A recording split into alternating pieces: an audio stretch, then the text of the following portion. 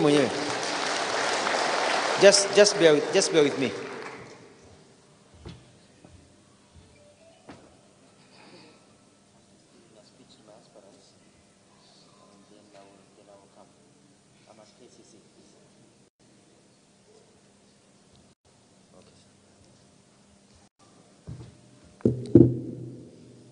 My, my apologies.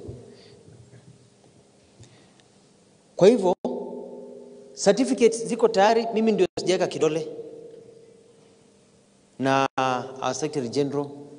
Sasa mkutano ikiisha leo, kesho, Saturday, kazi yetu ni kuweka nini? Kidole. So from Monday